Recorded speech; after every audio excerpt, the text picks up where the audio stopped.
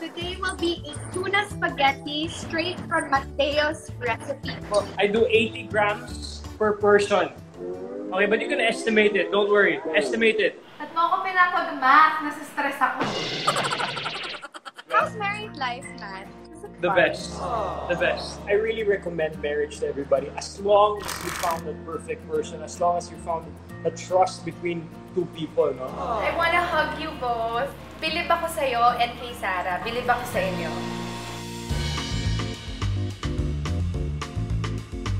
Hi guys! So, I was Christmas shopping here at Opulence. And of course, 11 a.m. na pala. So, dito na lang ako pinaluluto ng mga owners ng Opulence. Wow! So, here's my kitchen from Stoza Cucine. I wish na ito yung kitchen ko sa house ko. But for now, this is where we are going to cook. I am at the Opulence Boutique and I can't wait to cook with our special guest of the day, Matteo Curicelli. Matt! Matt, thank you for being here with us on Kitchen Collabs. Magluluto Thank- tayo today. Thank you also, Casey. Uh, you look great. How are you? You look cute too. Where's Sarah? Wait, She's at work now. She's at tell her, please give her a big kiss and a big hug from me. I'm so happy for you guys and I miss you guys. You guys should like bake next time. You and Sarah should bake. She's like the best it, at doing that. Really? Okay, good. Kasi wala akong alam sa baking. No, like she's the best. Like people take like like example like 50 tries to make a perfect cake. Siya isa lang and it's perfect already. What's the talent pala ni Sars in baking? Sige! Let's do it! Super miss ko na yan, si Sars. Tsaka, tsaka syempre, ikaw yung hobby ni Sars, so love mo na rin ah. Tell me kung tama ha. Nice. I have the tuna, tomato sauce olives, olive oil, onions, garlic. I chopped mine already, Kesa. So I have the onions, garlic, and I got I have some chili also here. You have chili there? Wala akong sili. It's okay. It's okay. Don't don't panic. And do you have your uh, Parmesan cheese here? Oh my God! Ang ganda naman ng cheese mo! Isang buong bloke, Matt. Where's yours? Seryoso ka ba? Magkano yan? Yeah. Mahal yan, no? And I have my tuna here. Tuna. Uh, Oh, ako rin, may konting slice ng parmesan. Ang alam kasi natin sa parmesan, it's nakabote, pero masarap talaga yung fresh. yes, I always tell my friends not to use the bote one. Whole Dapat the real one talaga, like that, diba? And then you grate it. What's I your spaghetti dyan? I'm using fettuccine, like tagliatelle. Oh my gosh. Ah, Okay. so ganyan lang tagliatelle. Ito yung spaghetti. Yeah, but it's okay. It's okay. Don't worry. It's fine. It's okay lang. I have my favorite knives from Metro Cookware. It's so cute, mga neon. Anyway, Wow. Matt, let's get started. so nice. Matt, Casey. it's my first time to watch you cook. First time yata ng mga tao Really? to watch you at home cooking, hindi ba? Okay, do you have boiling water? Yeah. So, nagbo-boil Okay, na yung gonna- water ko here. I'm gonna boil mine also. So, marami sa mga Pinoy, guys, mahilig na mahilig talaga tayo sa pasta, di ba? So, kaya Super. siguro nakakatatlong pasta na tayo sa kitchen collabs. But, today will be a tuna spaghetti straight from Mateo's recipe book. So, Yes. cook together, guys. You like my apron? From your restaurant. Ay, cute! Ba? How's married life, Matt? The fun? best. The best. I totally recommend it. Are you part of the Bullied Husbands Club? Ah, yes. Okay, can you put salt? Get get rock salt. We'll put it in the water. Yeah, so you're half French, right? So like a good a good size like that, like like you know. Yeah, more, a little more, a little more. More, more. More? Yeah, don't make tipid. Yeah, Don't make okay. it. Okay. Okay, good. Ganda ng kitchen dyan, ah. Paano na kasi nag-Christmas shopping ako, Matt. Tapos 11 a.m. na pala, dito na ako dinatnan. Nang time. Go to your cheese. You wanna get a little block? Little block. Matt, ilang Yeah. years niyo nakain yung cheese na yan? Ang laki. Then, after mga two ko months, yung mga barangay mo niya. hindi, two months, ubos na to. Naman barangay. And then eat it. Kainis. Pinapataba mo naman ako. Eat this up. oh. Hot na. bilis mo naman. Anong, anong stove yan? Bilis naman umiinit. Pumunta ka sa Opulence. Mabilis uminit yung stove nila. Some olive oil, just a little bit, sprinkle a little bit just to make the pan wet. Go. okay. Okay, enough, enough. Enough. That's good. Make it hot. It's hot, ha? Yeah, I think. Diba Okay, there's a tip? Diba, diba you can check pag may salt? Pag nag-boil yung salt, Paano? Ganun ba yun? yeah, pag ginanyan mo, tapos mag-bula-bula siya, that means it's hot enough. Ah, wow. Kitchen hacks with Casey Concepcion. Diba? Sa dinami-rami ng mga guests ko dito, marami ng mga natutunan naman tayo sa mga guests ko. Kasi sila yung marunong magluto, hindi ako. Ayos, ayos. So let's go. Let's let's put the onions inside. Asan na si Sars? Magluto-luto nga tayo in real life. Oo nga, sayang eh. Can we do another episode with Sarah? Yes, I would love to. I miss that girl. I miss her. Diba? Your wife. Your wife. Your wife. Can you believe wife. Casey? We're married? I'm so happy for you. You know, I'm 150% super supportive of you. In fairness sa'yo, ang galing mo. Okay, okay, this is what I do, okay? Get, get a spoon, taste the water of the pasta. Wait, are we supposed to boil the pasta na? No, no, no, just to taste the water, taste the water. Why? Are you joking me? No, no, I'm serious, go. Why? No, What am I you have to supposed to taste it taste? if, if it's salty. You want the Salty salty, right? Hindi ako gusto. Kailangan ko.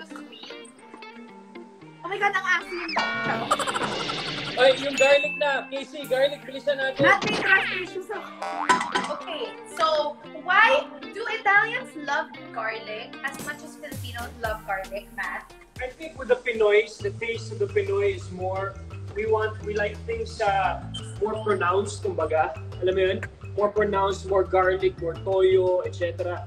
Yung mga Italiano Yung naman, malasa, very parang basic. eh. malasa. Gusto ng Pinoy malasa talaga. Yeah, yeah. Yung, yung Italiano basic, basic, alam mo yun, they just use the the ingredients, the natural ingredients to make the Who flavors don't you pop out. Did you grow up cooking with your family? Uh, not really. I only started cooking when I saw my dad cooking in the restaurant. That's when I started enjoying it. So your dad is a restaurateur. You want to talk to us a little bit about how you ended up opening up a restaurant because the Johnny is the second restaurant na, di ba? Yes, yes. It basically started when my, my grandparents uh, passed away. We said we wanted to continue their legacy because when we when we always go to my grandparents' house, it was like all Italian food based. Even the water was aquapana. So talagang parang pumapasok ka sa Italy kapag pumapasok sa bahay nila. So when they passed away, we had two yayas there, Antonia and Jean. We said, why don't we open up a restaurant and let Antonia and Jean run the restaurant? From being uh, helpers, they're now the head chefs of the Johnny Cebu. Oh wow! So you have the Johnny in Cebu and then meron kang the Johnny in Alabang, right? In Alabang, yeah. Okay. Okay, so what's your tomato sauce. what's your sauce? This one is arrabbiata. I'll put it na in the Okay, let's garlic. So, madali lang to. Alam nyo, yung tuna pasta naman, alam naman natin na canned tuna is perfect. And I guess the secret is in the pasta. Dapat yung pasta mismo, good quality, masarap. Diba? Kasi ang Pinoy naman, magaling naman magtimpla yung Pinoy eh. Anong favorite food mo na lutuin for Sarah? Sarah? She loves bongole. Bongole. Pasta bongole. Wow, yung may clams and wine? Yeah, yeah. We want to do white wine. Ay, ibang iba na talaga si Sars. Pag nakita kami, pangakain ko siya ng pasta. What I do usually, I do 80 grams per person. Okay, but you can estimate it. Don't worry. Estimate it. At mo ako pinapag-math, nasa-stress ako. Okay, so we're six people here. Uh, so 8 times 6 is... It's one handful. Yeah. Okay. Tama ba ako? You're- you're- yeah, I think so. Graduate naman ako ng You're, you're, one is your water boiling? Yes and no. Okay, just leave it there. Usually pasta takes around 8 to 11 minutes to cook.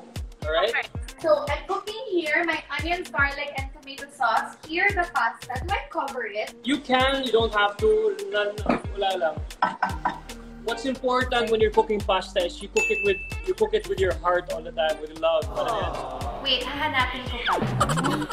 Yung, yung fire mo sa sauce, uh, low fire lang. Tapos case, what's important with pasta, when you make pasta, like example, when when I cook pasta for Sarah, and nagmamadali ako or kailangan ko lang gawin dahil gutom na siya or whatever, if I rush it, it's not good eh. So you always Yeah. have to put heart into it. It's just like, you know, you're making love to the pasta. Kumbaga. Mateo, huwag kaming ganyan din. I-secret nyo na lang yan sa married life ninyo. Grabe. No, but it's very important wala. that it's that's a, that's a lesson for everybody. Diba? When you make pasta, when you cook, you gotta like, kumbaga, you gotta give love, make love to the dish. Diba? Ito ka na naman, Mateo. Bakit gano'n? Sarah, ano kung nangyayari? Kaya mo pala pinakasalan tong guy na to. Alam mo, Matt, sumasobra na yung married mood mo, ha? You know, one thing I learned about married life, Casey, is that just say sorry. Sorry, love. Kasalanan ko talaga. Sorry. Kahit hindi mo kasalanan, sorry lang, sorry, no? Talaga? So, marami kang kasalanan. Hindi, wala naman, wala naman. At tanungin ko si Sarah kung mabait ka ba talaga. Oh, tanungin mo. Wow, confident!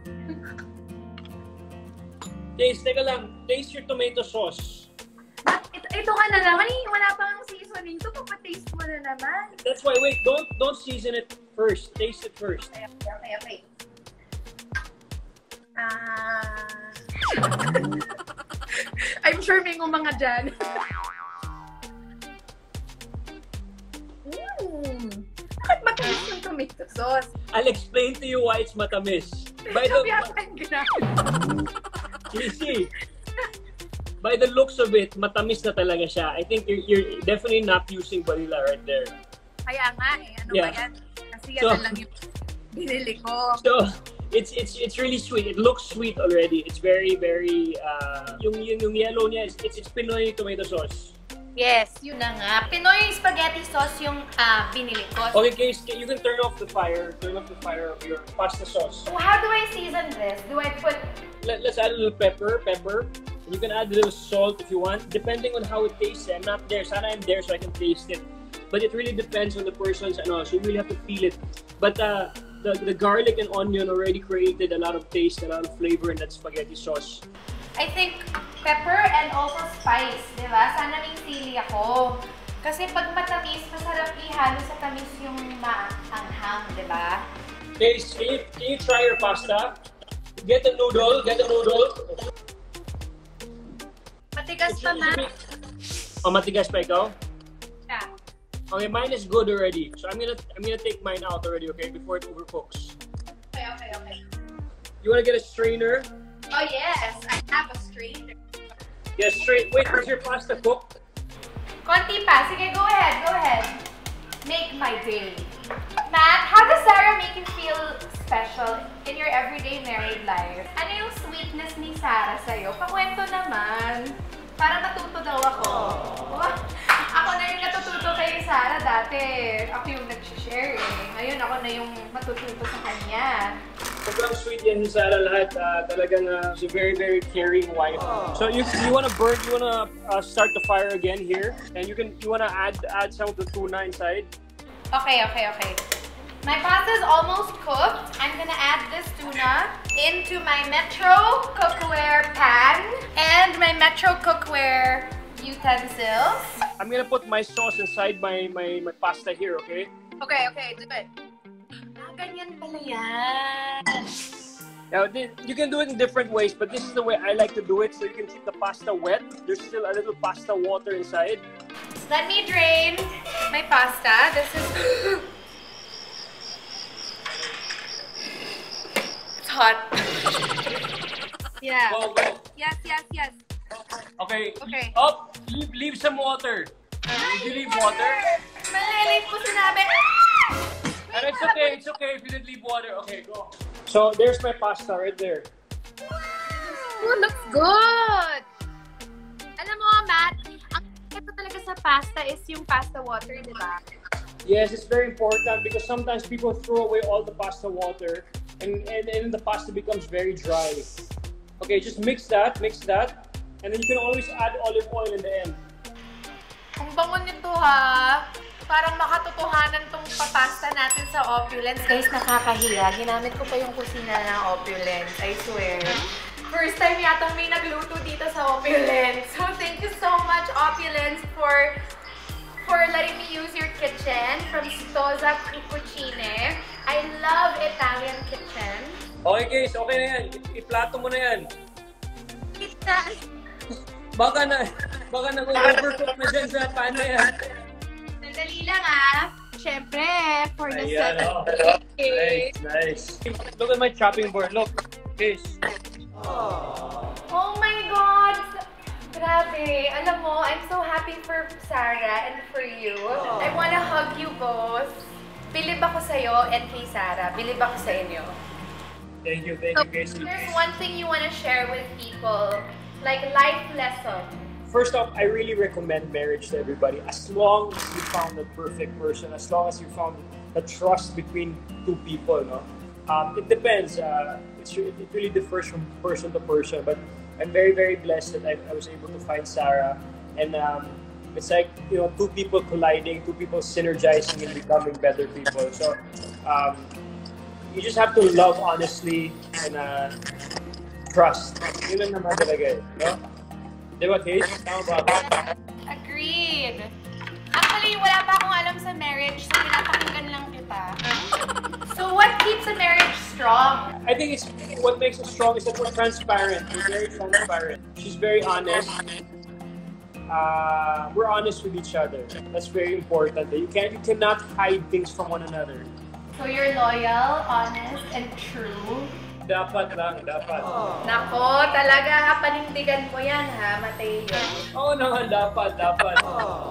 And by the way, on my Fornasetti Italian plate, I have my spaghetti al forno by Matteo Godicelli. What about the cheese, Matt? Eh, may rule talaga. If you're if you're making uh, uh, seafood pasta, you never put cheese. Bakit Okay. ka may parmesan? Wala lang, just to eat. Just pang merienda lang. So talaga? Okay. No, but it really depends on people. Some people like putting cheese in, in, in, in seafood, but uh, technically, uh, the- like the Italian way, dapat hindi talaga ilalagay ng Parmesan cheese or grana in, pa- in pasta with ang fish. seafood. Okay. Yeah, yeah. Wow. Guys, meron tayong bagong natutunan sa Mateo na hindi naglalagay ng cheese ang mga Yeah. Italiano sa seafood pasta. Okay? Yeah. Try natin yan. Well, Matt, thank you for hanging out with me. That's good. Thank you very much, Casey, and congratulations on this cool show. And uh, see you soon. Yes, text me lang. I'll talk Yeah. to you after this. Take care. Thanks, Bye. guys.